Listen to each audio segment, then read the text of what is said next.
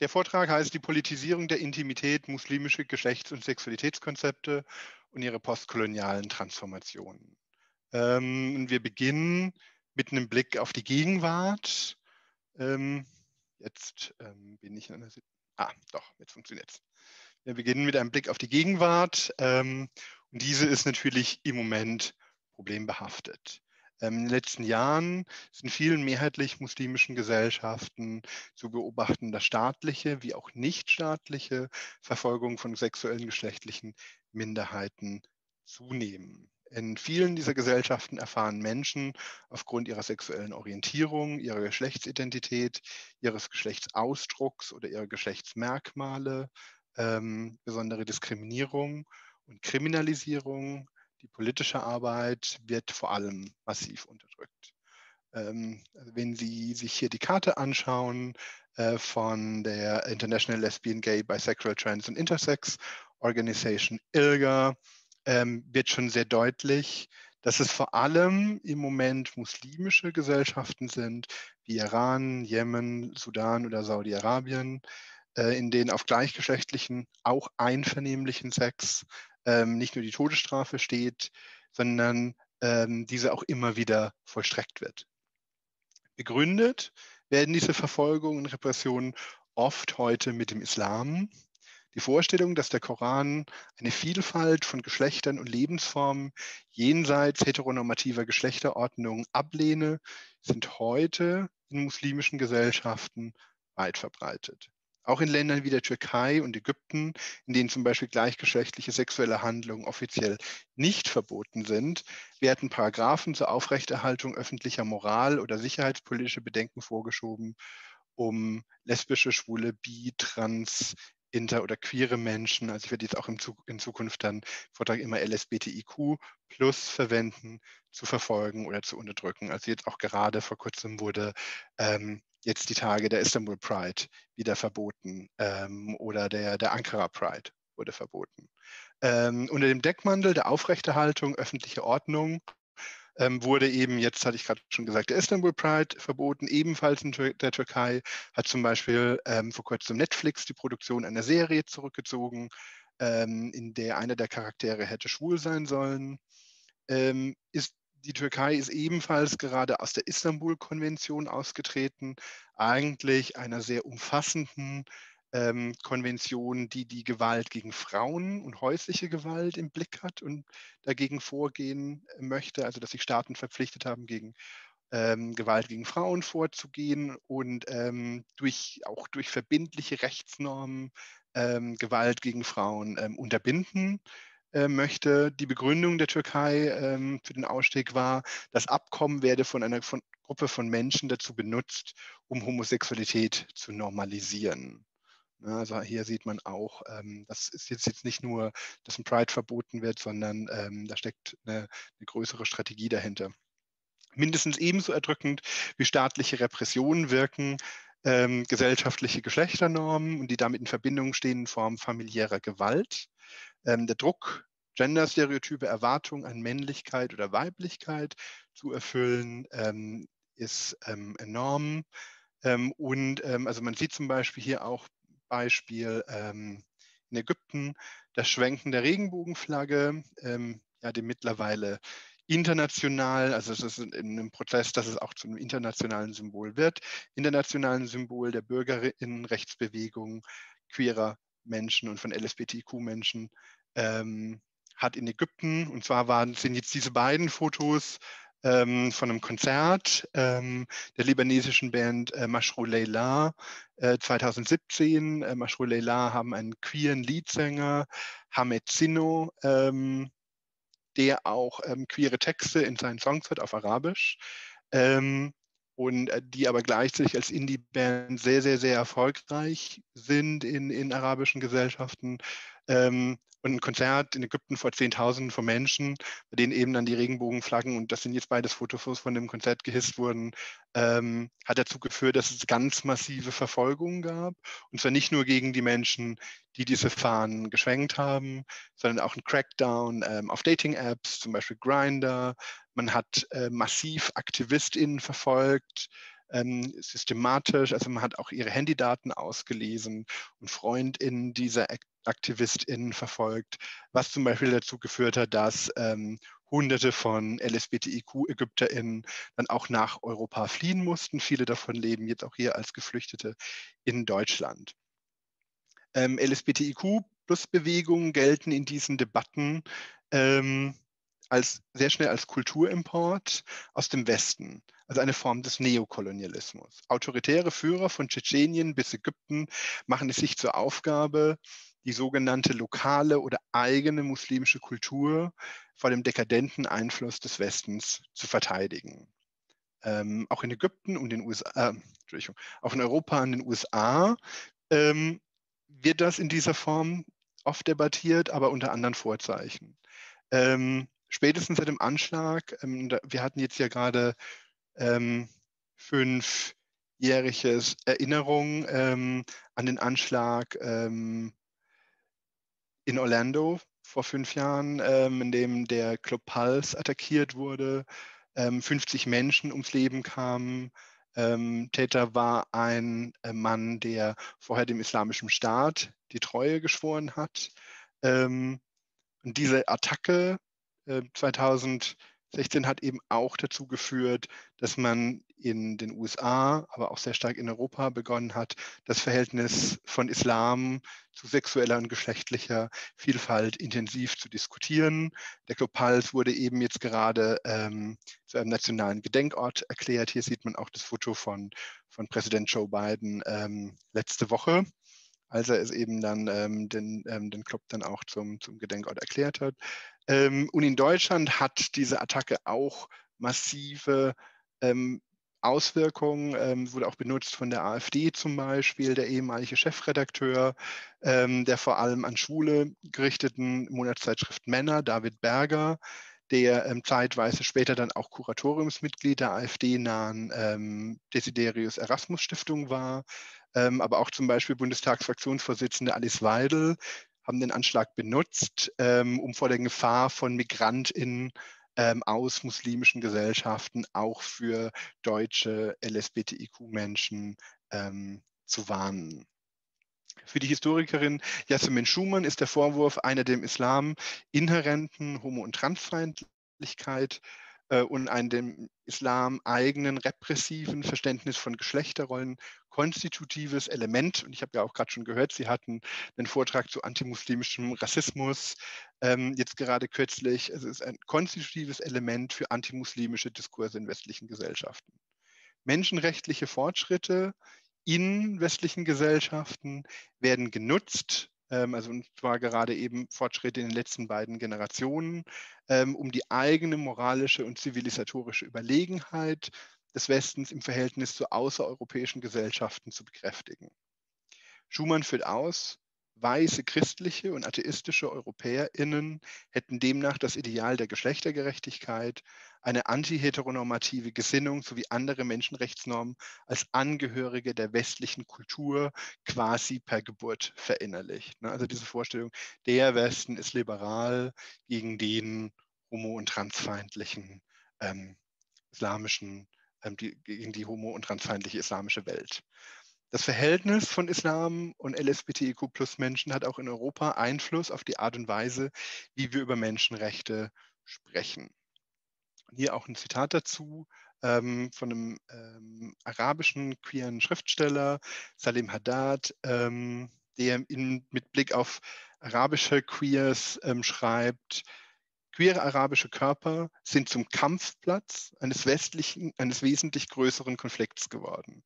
Es ist kein Geheimnis, schreibt er, dass sowohl liberale wie auch konservative Kreise in Nordamerika und Europa seit dem 11. September 2001 das Fähnchen von Frauenrechten und zum Teil auch von LSBTIQ-Plus-Rechten schwenken, um in ihren Gesellschaften Unterstützung für die Kriege im Nahen Osten zu erhalten. Bilder und Geschichten unterdrückter afghanischer Frauen legitimierten 2001 den Ruf zu den Waffen, um die aktuelleren Bilder die aktuelleren Bilder des IS, der schwule Männer von Hochausdächern warf und jesidische Frauen versklavte, befeuerte die Intervention in Syrien. Queere AraberInnen sehen sich mit zwei Kämpfen gleichzeitig konfrontiert. Sie müssen die Mächte der Unterdrückung in ihren eigenen Gesellschaften bekämpfen und gleichzeitig gegen ein globales Narrativ vorgehen, das unsere Unterdrückung, also unsere im Sinne von die der queeren AraberInnen, zur Erreichung militärischer oder politischer Ziele instrumentalisiert.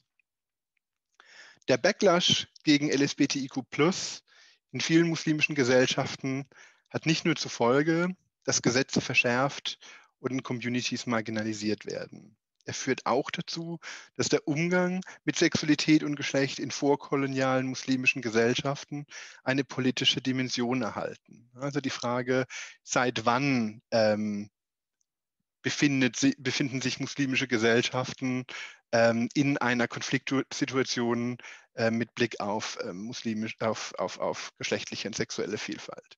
In den letzten 15 Jahren hat eine Reihe von ForscherInnen, ich werde heute das ähm, Zusammenstellen, ähm, Forschungsergebnisse in diesem Themenfeld, begonnen, dieses Verhältnis genauer zu beleuchten.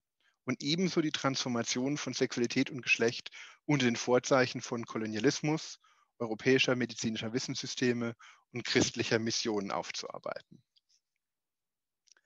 Diese Forschungsergebnisse, die ich Ihnen heute Abend vorstellen werde, ähm, erfahren eine breite, zunehmend breitere gesellschaftliche und auch religiöse Rezeption. Das spielt auch immer mehr, diese Forschungsergebnisse spielen auch eine große Rolle für queere MuslimInnen selbst, die sich auseinandersetzen mit dem eigenen Erbe mit Blick auf Sexualität und Geschlecht.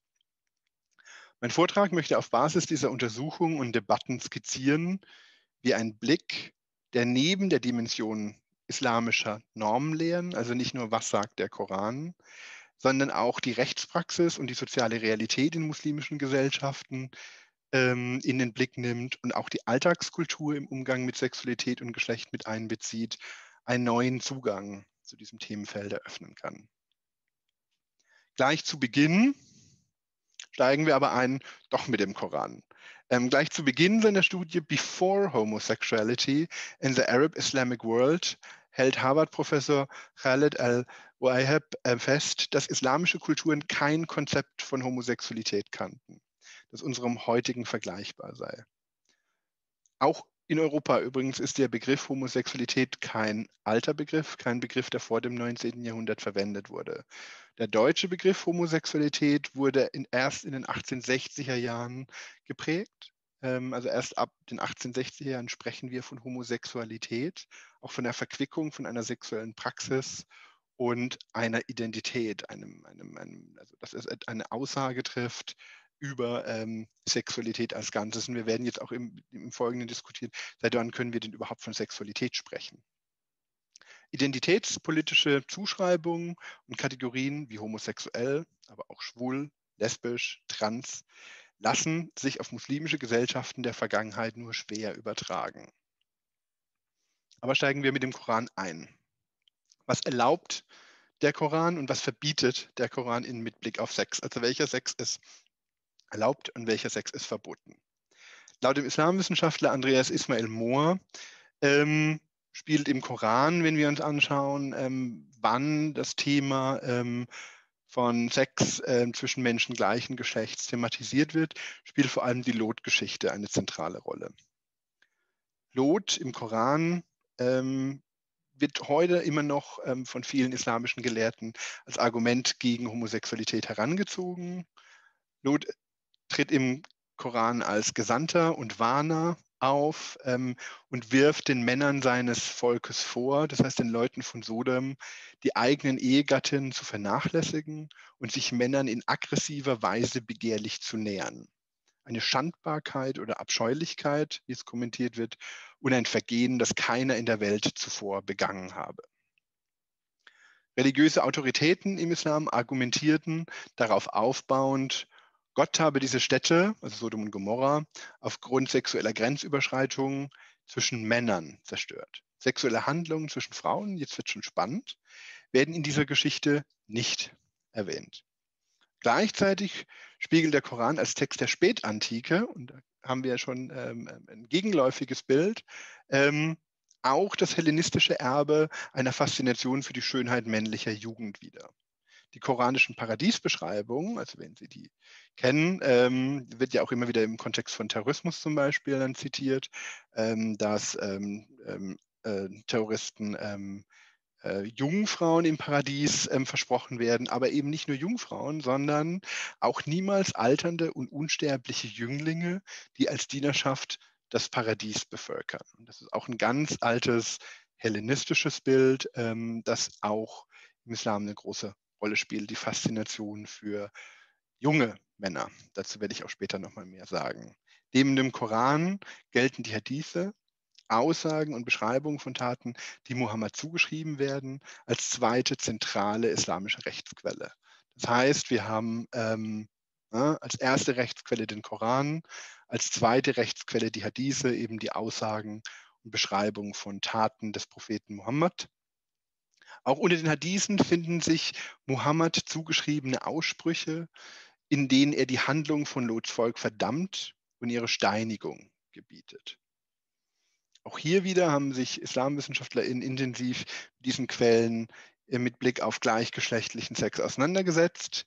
Ähm, und auch hier ist die theologische Situation umstritten, vor allem deswegen, weil diese Hadithe, diese Aussprüche in den zwei bedeutendsten und ähm, zuverlässigsten ähm, Hadithwerken von Al-Bukhari und von Muslim, beide aus dem 9. Jahrhundert nach Christus, nicht aufgenommen wurden und damit als ähm, nicht ganz gesichert gelten. Insofern sind sie keine vollwertige ähm, Rechtsquelle, ähm, auf der man Rechtsurteile aufbauen kann, weil ähm, also die, die, islamische Rechtsfindung ähm, geht so vor, dass man den Koran nimmt und die Hadithe und auf Basis von Koran und Hadithen eben ähm, nach einer bestimmten ähm, äh, Form der Rechtsfindung dann islamisches Recht ableiten kann. Ähm, die islamische Rechtslehre ähm, vereindeutigt aber trotz dieser Unschärfen in, ähm, sowohl im Koran als auch in den Hadithen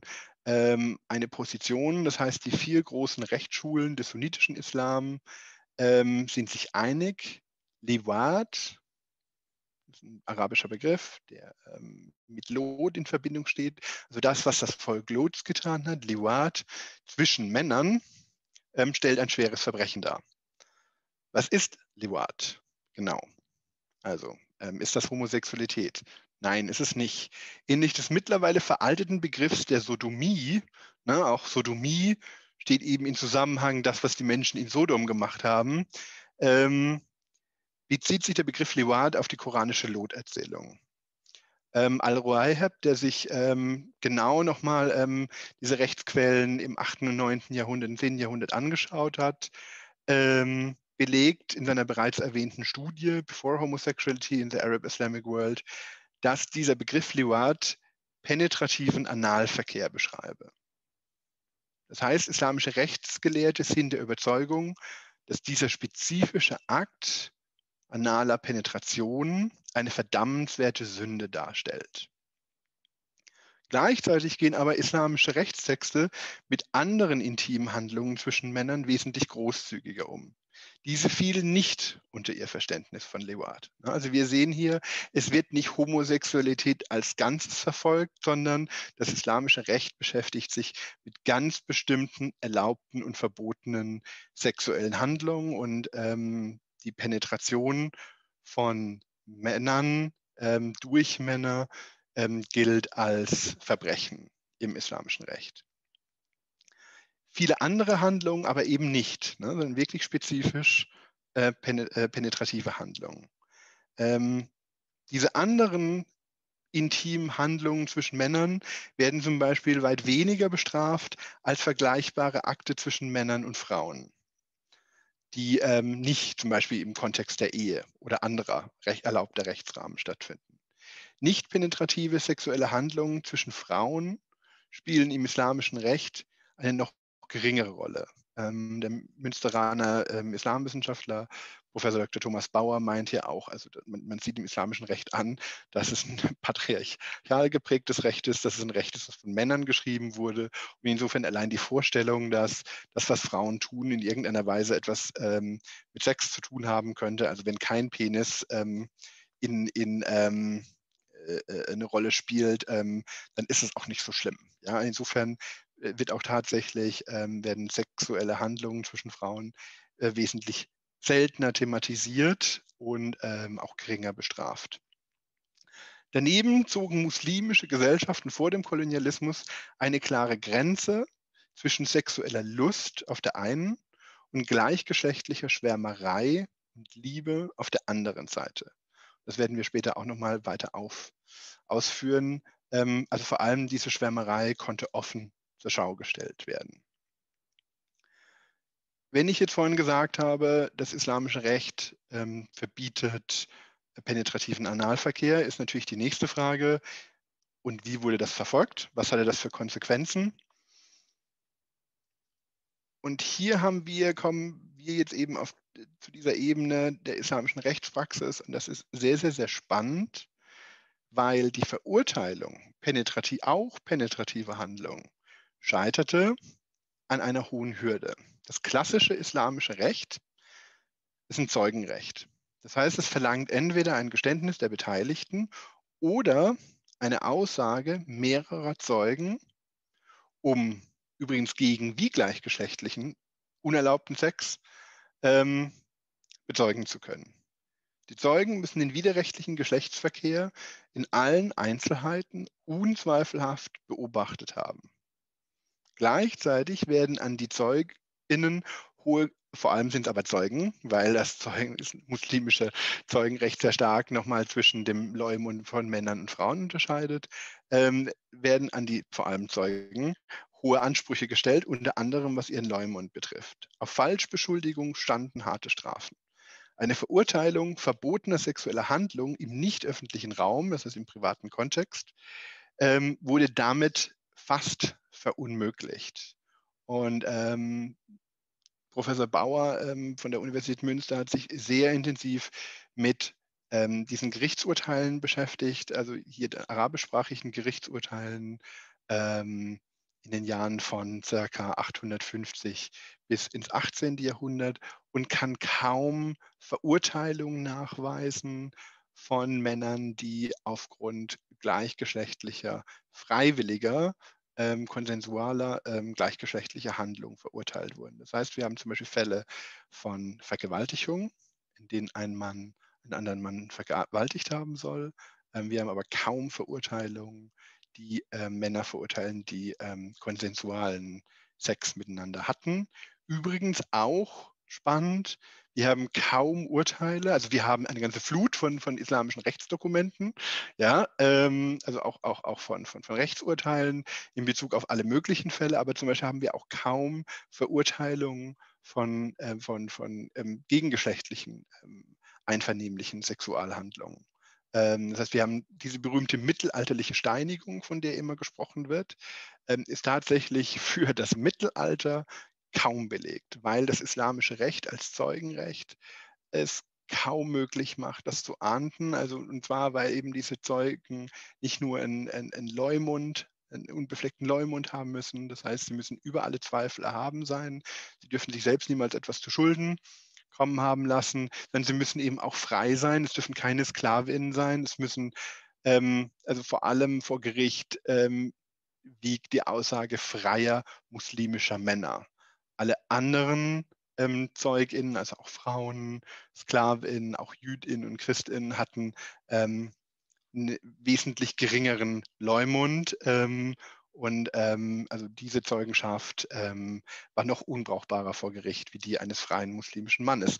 Und das ist tatsächlich sehr spannend, weil wir uns natürlich in so einem Spannungsfeld befinden, dass auf der einen Seite die islamische Normenlehre jahrhundertelang etwas kriminalisiert hat, aber in der Praxis, also die islamischen Richter, das nie verurteilt haben. Ja, und genau in, diesem, dieser, dieser, in dieser Spannung ähm, befinden wir uns. Ähm, in dieser Spannung konnten sich dann ähm, auch gleichgeschlechtliche äh, Lebenswelten ähm, in muslimischen Gesellschaften ähm, ähm, haben ihren Platz gefunden. Und ich werde jetzt auch noch ausführen, dass sie eben auch sehr, sehr, sehr sichtbar waren. wenn wir uns von der Ebene religiöser Norm abwenden und hin zum Alltagsleben in klassisch muslimischer Zeit, ähm, ist natürlich die Frage relevant, über welche historische Quellen verfügen wir zu dem Thema, wessen Blick spiegeln diese Quellen wider, welche Positionen sind repräsentiert, welche sind unterrepräsentiert? Ähm, und wie standen diese unterschiedlichen sozialen Rollen und Positionierungen miteinander in Beziehung.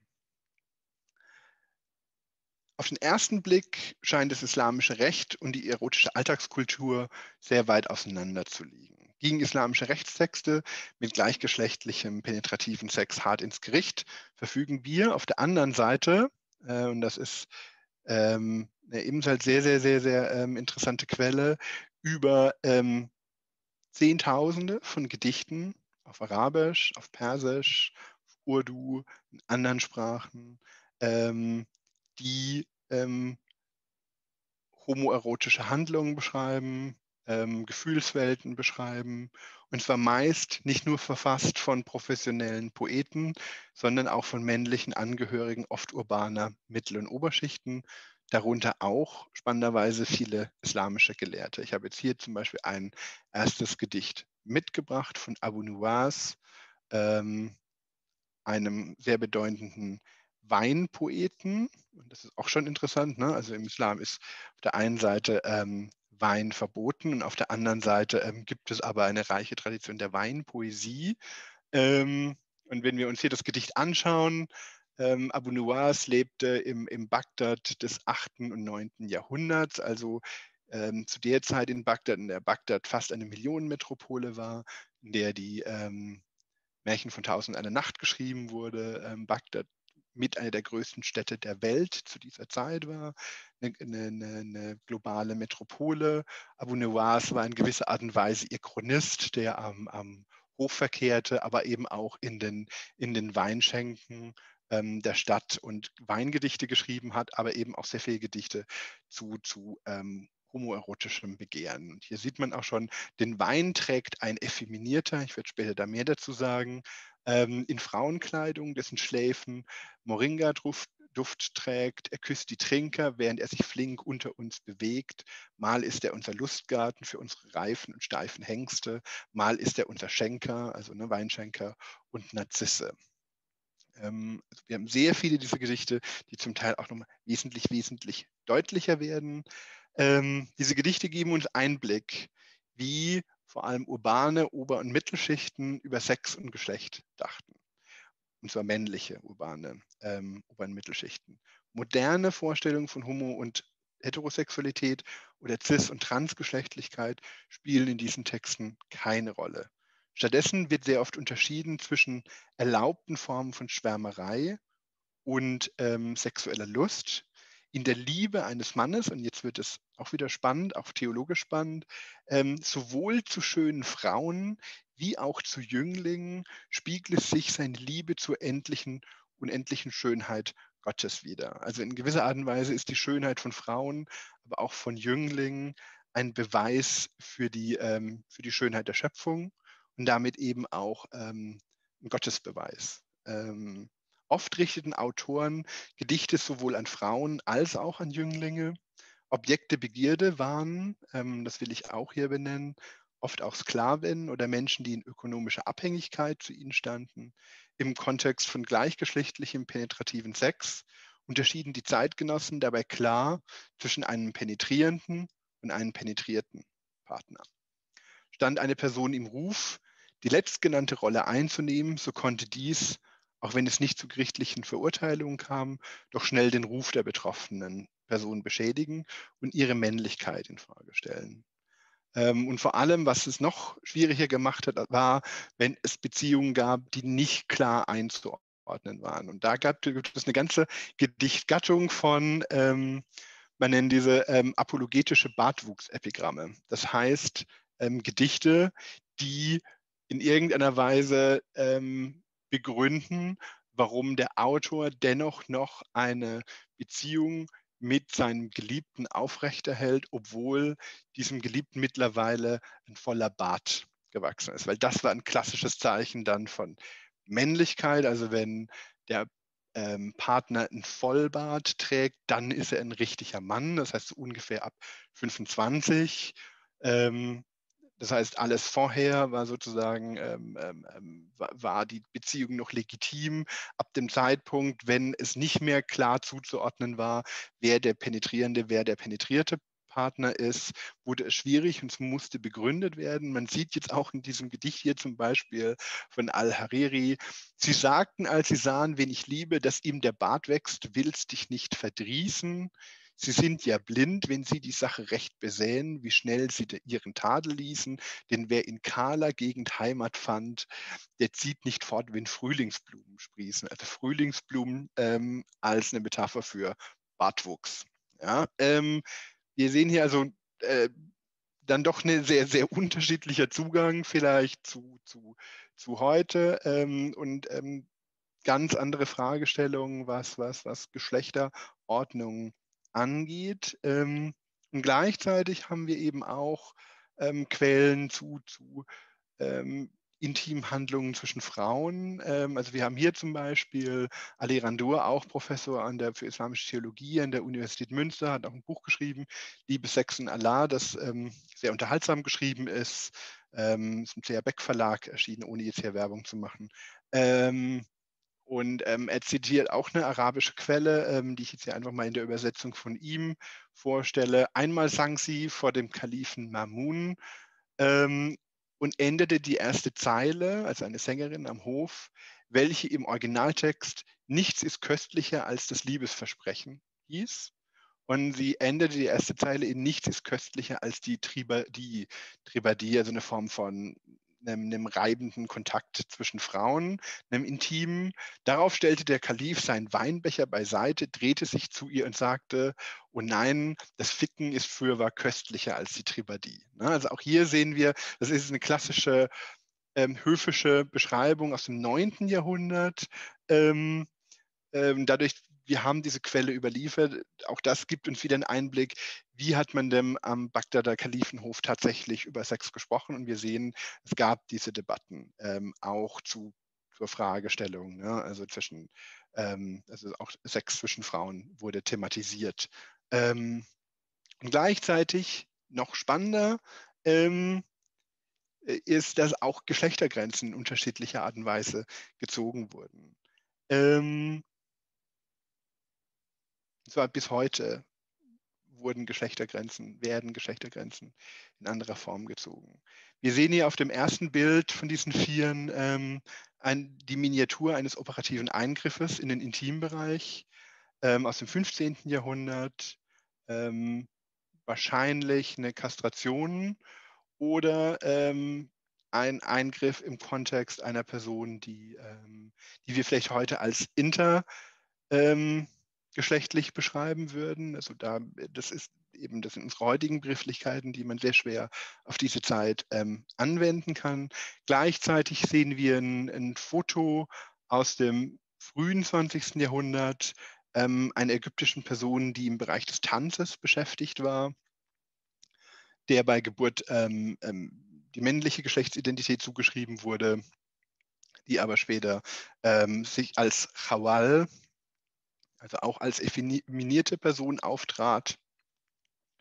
Und äh, noch zwei, eine Abbildung eines schwarzen Eunuchen am Osmanischen Hof und eines der letzten Eunuchen der Grabesmoschee des Propheten in Medina. Und Eunuchentum ist ein ganz, ganz, ganz wichtiges Element, um Geschlechtergrenzen in muslimischen Gesellschaften zu verstehen.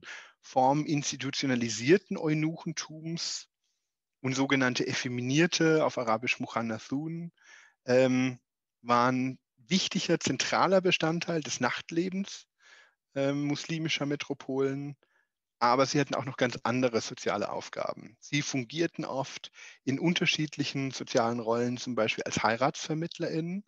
Eunuchen hatten die Möglichkeit, zwischen Sphären von Männern und Frauen zu wandeln ähm, und nahmen oft wichtige ähm, Rollen ein, zum Beispiel im Kontext von Hof- und Haremsverwaltung. Das heißt, wir wissen eben, dass dieses dritte Bild ähm, eines, eines osmanischen Hofeunuchen oft ganz, ganz leitende Funktionen in der Hofverwaltung inne, gerade weil man Eunuchen ähm, dadurch, dass sie keine eigenen Kinder zeugen, ähm, zugeschrieben hat, da sie sich nicht selbst bereichern für sich und ihren Nachwuchs, sondern loyal sind dem, dem, dem, dem Kalifen oder Sultan oder Herrn gegenüber. Ähm, man hat sie natürlich logischerweise eingesetzt in der Haramsverwaltung. Ähm, äh, gleichzeitig hat man ihnen aber auch, weil sie eben nicht verheiratet waren, keine Kinder hatten, ähm, auch bestimmte religiösen Aufgaben übertragen. Deswegen eben dieses letzte Bild, ähm, dass wir über Jahrhunderte wissen, ähm, dass in der, in der Grabesmoschee von Medina, aber eben auch in Mekka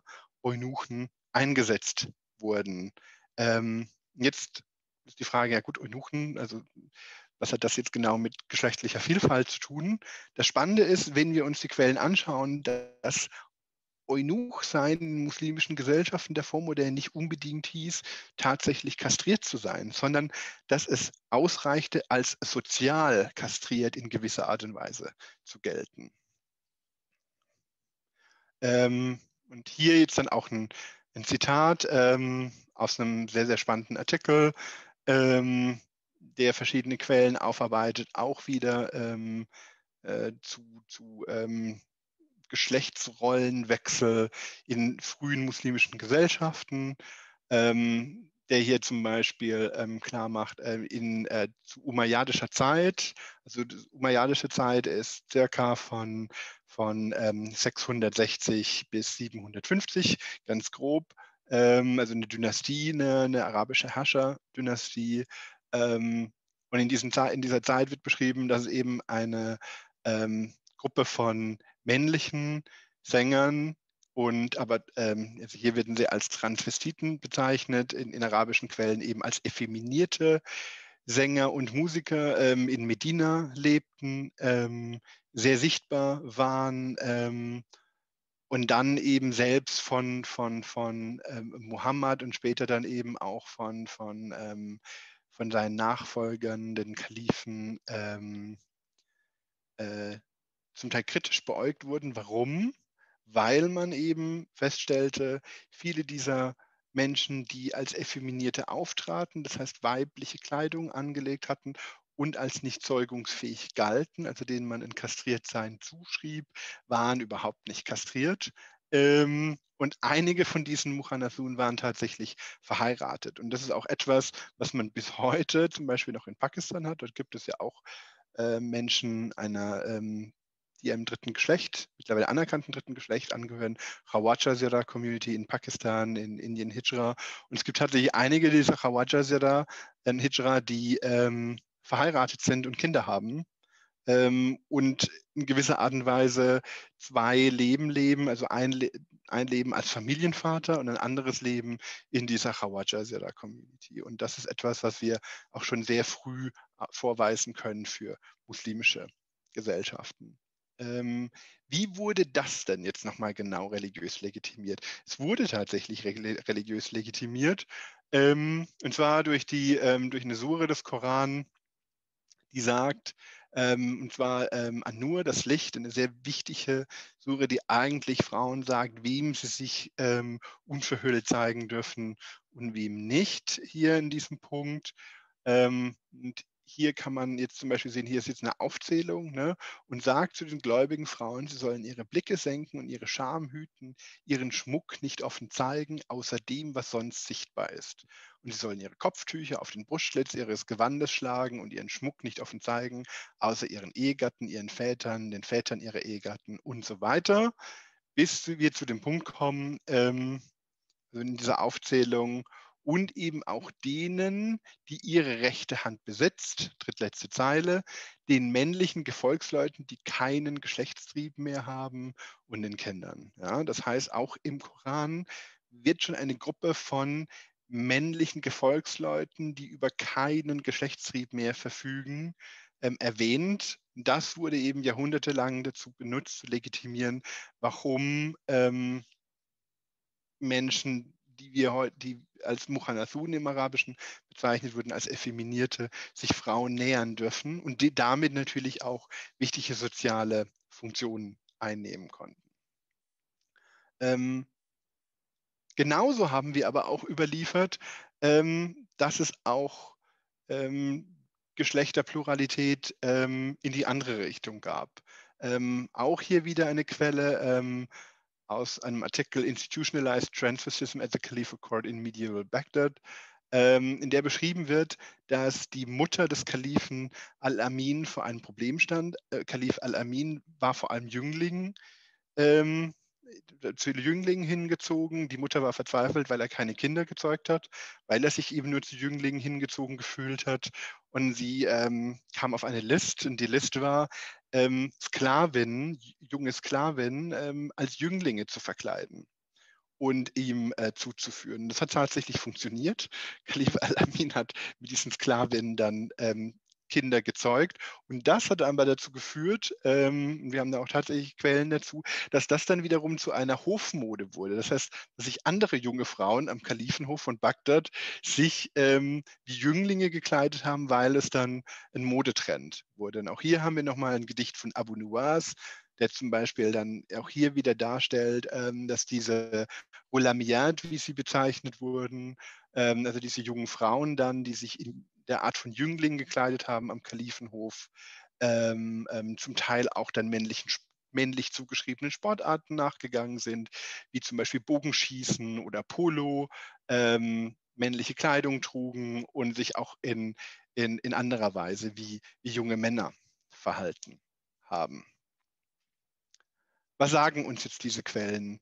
Wenn wir jetzt hier auch nochmal zum Beispiel auf ähm, auf andere Formen von, von ähm, Geschlechtswandel und Vielfalt ähm, schauen. Wir haben hier zum Beispiel ein sehr spannendes Beispiel aus dem Balkan, sogenannte Burneshas. Ähm, das ist das zweite Foto oben, also diese Person mit dem weißen Hemd und der schwarzen Hose, ähm, von denen wir wissen, dass es im osmanischen Balkan üblich war, dass junge Frauen den Schwur zur Jungfräulichkeit ablegen konnten und den Schwur zur Übernahme einer sozialen männlichen Rolle.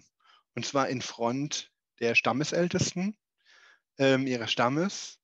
Danach wurden oft männliche Pronomen für sie benutzt. Ähm, sie trugen männliche Kleidung, hatten männliche Privilegien, wie zum Beispiel das Tragen von Waffen, durften Alkohol trinken, ähm, haben männliche Arbeit und Aufgaben übernommen und hatten das Recht, ein Haushaltsvorstand zu sein. Was war der Kontext? Ähm, gerade in kriegerischen Auseinandersetzungen kam es sehr oft dazu, dass ein ähm, Stamm oder eine Familie viele Männer verloren hat. Ähm, und dann konnte sich ein Stamm oder eine Familie entscheiden, wenn es zu wenig Männer gab, ähm, Töchter zu Söhnen zu machen. Ähm, die dann ähm, wichtige männliche Aufgaben in einer geschlechtergetrennten Welt ähm, ausüben konnten. Auch hier natürlich heute ist das in Albanien, also vor allem ist es für Albanien belegt oder in Kosovo heute kein großes Thema mehr. Ähm, und auch hier haben wir jetzt die letzte Generation ähm, von, von, von diesen Burneshas, ähm, die eben heute noch leben, die ihr ganzes Leben unverheiratet geblieben sind und aber ähm, in einer männlichen sozialen Rolle auftraten. Ähm, wir haben auch noch andere Kontexte, in denen es zu Geschlechtswandel kam, ähm, zum Beispiel im Kontext von, von religiösen Praktiken im Sufi-Kontext, in denen Frauen eine männliche Rolle annehmen konnten. Und was wir auch hatten, ich habe hier sehr viel über Schönheitsideale gesprochen, dass Jünglinge als attraktiv galten.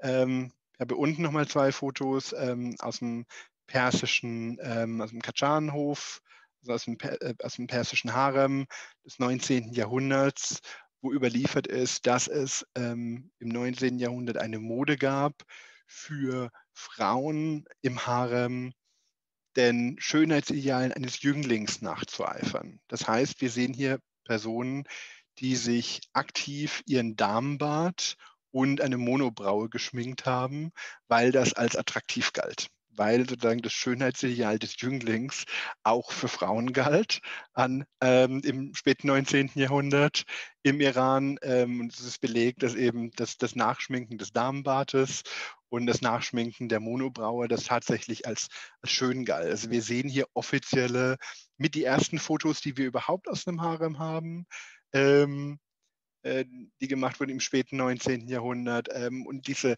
Hofdamen wollten sich so darstellen lassen. Also so wie man sie hier auf dem Foto sieht, ähm, so wollten sie dargestellt werden. Äh, also das galt auch als schön, als elegant Ähm, also das ist keine Alltagskleidung oder irgendwie ähm, jetzt ähm, irgendwie out of bed look, sondern es ist ein repräsentatives Foto.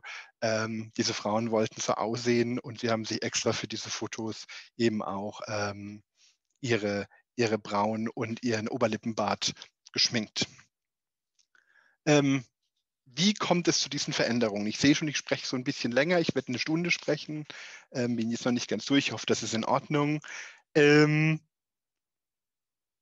die von mir heute vorgestellten vormodernen Beispiele machen deutlich für mich, ähm, ich hoffe, das ist vielleicht jetzt auch so ein bisschen klar geworden, dass die sexuelle Kultur und auch die Kultur in Bezug auf Geschlecht in muslimischen Gesellschaften außerhalb des heute vorherrschenden Ideals heteronormativer islamischer Geschlechterrollen und Familienbilder zu denken ist. Ähm, wir müssen uns von diesen Vorstellungen, die wir heute sehen, ablösen. Wichtig ist aber, dass es mir jetzt nicht darum ging zu beschreiben, dass vor dem Kolonialismus wir ähm, ähm, Emanzipation und Freiheitsrechte in muslimischen Gesellschaften hatten. Ich glaube, es ist sehr klar geworden, dass ähm, also zum Beispiel gerade aus diesen quasi institutionalisierten Beziehungen zwischen erwachsenen Männern und jungen Männern, ähm, dass es sehr oft auch um ökonomisch asymmetrische Beziehungen geht. Das ist sehr klar, wer begehren durfte, wer begehrt wurde. Ähm, dass ähm, also Menschen nicht immer die Wahl hatten, auch in welcher ähm, Position sie sich befinden. Ähm, aber dennoch erlauben diese Quellen einen Blick auf ähm, Verhältnis, also auf Sex und Geschlecht in muslimischen Gesellschaften, das sich sehr stark von dem unterscheidet, was wir eben heute kennen. Ähm, und die Veränderungen, die angestoßen wurden, ähm, stehen eng mit dem Kolonialismus in Zusammenhang. Noch im 19. und frühen 20. Jahrhundert zog es europäische Reisende in den sogenannten Orient, um der Repression und Brüderie des bürgerlichen Europas zu entfliehen. Die Ablehnung homosexueller Handlungen oder nicht geschlechtskonformen Verhaltens im viktorianischen Europa war längst nicht nur ein Phänomen Europä ähm, äh, religiöser Kreise, sondern es wurde ges gesamtgesellschaftlich geächtet und verfolgt im Europa des 19. Jahrhunderts. Noch weit bis in die zweite Hälfte des 20. Jahrhunderts hinein war Homosexualität ähm, auch von der Biomedizin, auch von der Psychologie zur Krankheit erklärt. Eine Vorstellung, die durch Institutionen wie Militär und Universität gesellschaftlich verbreitet wurde nationalistischen Kreisen in Europa galt Homosexualität als ein Übel, das die Reproduktionsfähigkeit und Wehrtüchtigkeit der Nation bedrohe und deswegen, deswegen auszumerzen sei. Mit dem wachsenden Einfluss europäischer Kolonialmächte geriet die muslimische Welt auch in den Einflussbereich europäischer Moralvorstellungen. Also es geht nicht nur um eine militärische ähm, ähm, Kolonisierung, sondern eben auch um eine ähm, ähm, also den Versuch Europas, ähm, muslimische Gesellschaften zu transformieren, auch auf der Ebene des Familienlebens und der Sexualnormen. Die Kolonialherren verbanden die Kontrolle über die angeeigneten Gebiete oft mit einem zivilisatorischen Sendungsbewusstsein, ähm, die Sichtbarkeit mann-männlicher Intimität oder effeminierter Männer dient den Europäern als Beweis für eine Passivität und Dekadenz muslimischer Gesellschaften, die nur durch den zivilisatorischen Einfluss des viktorianischen Europas zu korrigieren sei. Also hier auch ganz kurz noch zwei Quellen, wo wir sehen zum Beispiel aus dem 18. Jahrhundert einen Reisebericht, ähm, in dem zum Beispiel ein Autor schreibt, The horrible sin of sodomy is so far from being punished among them that it is part of their ordinary discourse to boast of their detestable actions of that kind. Ähm, oder auch hier ähm, auch eine Quelle, ähm, in dem zum Beispiel dann, ähm, also diese Sichtbarkeit in arabischen Gesellschaften mit den alten Griechern und Persern verglichen wird.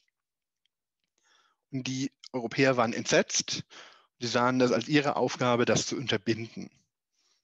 Gleichzeitig löst das aber auch nochmal einen anderen Prozess aus. Die militärische, technologische und auch wissenschaftliche Überlegenheit Europas führte auch in muslimischen Gesellschaften zu einer intensiven Auseinandersetzung mit Europa. Vor allem für große Teile ähm, der eng mit Europa in Austausch stehenden Oberschicht, in Nordafrika bis Südasien wurde das europäische Bürgertum zum Vorbild. Das heißt, man wollte aussehen wie Europäer, man wollte sich verhalten wie Europäer, sich kleiden wie Europäer ähm, und eben auch, eben auch auf die Ebene des Familienlebens und der Körperlichkeit hinein. Ähm, Und wir sieht hier dann eben erstmal die ersten ähm, Reisen, arabischen Reisenden in, nach Europa, die eben auch festhalten, hier zum Beispiel Flirtation, Romance and Courtship uh, for them, also die Europäer, only takes place with women, for they are not inclined to boys and young men. Rather, that is extremely disgraceful to them. Ähm, schreibt ein Reisender äh, aus den 1830er Jahren. Ja? Also auch ihm fällt auf, er reist nach Europa, okay, hier ist etwas anders. Ähm, und gleichzeitig, was aber auch beginnt, ist dann durch die europäische Kolonisierung, dass sich auch Körperbilder ändern. Man setzt sich stärker mit dem Körper auseinander ähm, in muslimischen Gesellschaften und man setzt den Körper auch stärker in Beziehung zum Beispiel zu abstrakten Ideen von zum Beispiel von Nationen. Ja? Also diese Idee, die auch Europa hat, dass, ähm, dass im Nationalismus, dass es auch um gesunde, wehrtüchtige Körper geht, ähm, dass Nationen im Wettstreit um gesunde Körper und auch Höchstle körperliche Höchstleistungen sich befinden. Das ist ja auch die Zeit, in der zum Beispiel die Olympischen Spiele reaktiviert werden. Auch das wirkt sich auf muslimische Gesellschaften aus, ähm, die eben die Abwertung bestimmter sexueller Verhaltensweisen ähm, aus Europa übernehmen. Und zwar nicht nur säkulare Kreise, sondern ähm, auch die islamische Gelehrsamkeit. Also auch die islamische Gelehrsamkeit setzt sich intensiv mit der Überlegenheit Europas auseinander ähm, und greift eben bestimmte Vorwürfe, die die Europäer gegen muslimische Gesellschaften richten, auf und sagen, ja, die Europäer haben hier recht, wir sind tatsächlich dekadent und sexuell zügellos und wir müssen uns wortwörtlich reformieren, ähm, also zum Ursprung, zu den unseren Wurzeln zurückkehren. Das steckt ja auch im Begriff Reform. Im Arabischen ist dann Usulia, also zurück zu den Wurzeln ähm, des reinen Islam und imaginieren eine Zeit des Propheten, in dem es das alles nicht gegeben hätte. Ja, also diese berühmten ähm, äh, äh, Fundamentalisten, ja, also da steckt ja auch Fundament, also zurück zu den Fundamenten, ähm, sind auch diejenigen, die dann eben sehr stark ähm, islamische Sexualnormen imaginieren, die es angeblich gegeben hätte. Historisch wissen wir, sie hat es nie gegeben. Ähm, aber diese Vorstellung ähm, ähm, der islamischen Reformen von einer ähm, reinen ähm, ähm, islamischen Sexualität, ähm, die zum Beispiel eben keinen Sex zwischen Männern kennt und, und, und, ähm, die auch keine Transgeschlechtlichkeit kennt oder keine über, über, Überschreitung von, von binären Geschlechterordnungen, ähm, ist heute im Islam sehr, sehr, sehr weit verbreitet. Interessanterweise wurden diese Gedanken aber eben aus Europa, also diese Vorstellung von einem binären Geschlecht, ähm, von, von, von Homosexualität und Heterosexualität sind eben Ideen des 19. Jahrhunderts, die im Reformprozess des Islams im 19. Jahrhundert islamisiert wurden, ähm, die aber mit der sozialen Realität muslimischer Gesellschaften vor dem Kolonialismus ähm, fast nichts gemein haben. Also es gibt wirklich nur punktuell, ich habe das ja gezeigt, ähm, religiöse Debatten, was verboten ist ähm, im, im, im, Kontext von Sex, aber eben nicht diese kategorialen Vorstellungen von, von, von einer Kriminalisierung von, von Homosexualität ähm, oder zum Beispiel von Regenbogenflaggen oder, oder, oder. Das hat mit, mit, mit also das sind natürlich Vorstellungen, die mit, ähm, mit also die, die, die wir in klassischer muslimischer Zeit nicht finden. Heute beobachten wir, und da kommen wir vielleicht zum zum Abschluss, ähm, wie ich bereits am Anfang gesagt hatte, ein Backlash gegen sexuelle und geschlechtliche Vielfalt. Nicht nur in muslimischen Gesellschaften. Das ist mir auch nochmal wichtig, sondern wir sehen, wir können ein globales Phänomen beobachten. Das betrifft evangelikale Gruppierungen in den USA, Kampagnen für LSBTQ-freie Zonen in Polen, gegen Gender Studies und queere Bildung jetzt in Ungarn, gegen LSBTQ-Sichtbarkeit in Russland und all diese Bewegungen eint eine Vorstellung, nämlich dass die gelebte Vielfalt von Geschlecht und Lebensformen jenseits heteronormativer Geschlechterordnung eine fundamentale Bedrohung von Familie für Familie, Gesellschaft und Nation darstelle. So ist es nicht überraschend, dass auch viele LSBTQ hier in Deutschland die Vorstellung teilen, der Islam, aber auch zum Teil auch das Christentum, sei inhärent homo- und transfeindlich. LSBTIQ, die sich in Europa, auch hier in Deutschland, als religiös verstehen, stoßen oft in LSBTIQ-Kontexten auf Unverständnis und Ablehnung. Also man kann sich überhaupt nicht vorstellen, warum Menschen ähm, LSBTIQ und religiös sein wollen. Ähm, sehr oft wird es als Widerspruch wahrgenommen. Ähm, aber es gibt eben auch Gegenbewegungen. Es gibt auch in, in, in unter muslimischen Queers mittlerweile Vernetzungen. Ähm, in Deutschland gibt es Debatten unter Migrantinnenverbänden. Ähm, gerade diese Quellen, die ich jetzt heute gezeigt habe, werden eben heute von ähm, neuen strömischen, Strömungen muslimischen LSBTIQ-Aktivismus aufgegriffen. Ähm, es gibt zum Beispiel ähm, Organisationen, ähm, hier zum Beispiel ähm, das Maujudin Queer Film Festival in Tunesien, das ich vor zwei Jahren besucht habe, das immer wieder auch Themen von Kolonisierung und Dekolonisierung aufgreift. Ähm, es gibt ähm, dieses Ax Film Festival, das ist ein und, und, und Festival, das ist ein, ich, das sind jetzt oft Filmfestivals, aber das sind eben auch Festivals, die ähm, dann auch nochmal durch Debatten, durch, durch ähm, Dis Diskussionen und andere Veranstaltungen sehr breite Communities einbeziehen. Das Axe Festival zum Beispiel findet, wird gemacht von ähm, queeren MuslimInnen sowohl in ähm, Dänemark als auch in Pakistan und findet eben auch in Lahore und Karachi statt, ähm, die sich sehr intensiv damit auseinandersetzen. Ähm, was ist denn eigentlich, was hat sich verändert? Ähm, wir als in, in, in, in Pakistan zum Beispiel jetzt als Khawaja Zira Community, also diese Community, die ein drittes Geschlecht, einen dritten Geschlechtseintrag hat oder eben auch ein drittes Geschlecht vertritt, bezieht sich schon im Namen Khawaja Zirawa, heißt Hofeunuch, auf eben diese, diese vorkoloniale Zeit, die sich sehr stark damit auseinandersetzen, wie ähm, warum sich eben jetzt im Moment gerade in muslimischen Gesellschaften, gerade auch aus religiöser Sicht ähm, ähm, ähm äh, LSBTIQ-Menschen abgelehnt werden und die bewusst diesen Rückgriff auf die Vergangenheit machen und sich sehr intensiv mit Gedichten, mit anderen Quellen auseinandersetzen, um zu zeigen, wir sind kein dekadenter Identitätsimport aus ähm, dem Westen, sondern uns hat es schon immer in diesen Gesellschaften gegeben. Wir sind inhärenter Bestandteil der Kulturgeschichte dieser Gesellschaften. Ähm, wir gehören dazu ähm, und äh, wir lassen uns auch nicht aus ähm, der Geschichte muslimischer Gesellschaften herausschreiben. Ja, und ich glaube, diese, diese, diese, diese Rolle, die diese Quellen für, für, für queere muslimische LSBTIQ-Bewegungen heute haben, ähm, sind nicht zu unterschätzen, weil wir eben uns in einer Debatte befinden, in der ähm, politische Kämpfe im Moment in vielen Kontexten über die Deutungshoheit der Vergangenheit geführt werden, also um zu definieren, was ist denn eigentlich ne, wirklich muslimisch oder was ist wirklich, das können wir jetzt auch russisch, was ist wirklich die ungarische oder polnische Kultur, dass in diesem Kontext ist, diese Quellen unglaublich wichtig sind, ähm, sehr stark rezipiert werden ähm, und ähm, dann auch ermöglichen, Engführung von Traditionen und dieses Bild, was Sie am Anfang auch angesprochen haben, eines inhärent konfliktären Verhältnisses von Islam und geschlechtlicher und sexueller Vielfalt aufzulösen. Und ähm, hier möchte ich dann gern in die Diskussion überleiten. Vielen Dank, dass Sie doch ein bisschen länger zugehört haben. Jetzt habe ich circa 55 Minuten gesprochen.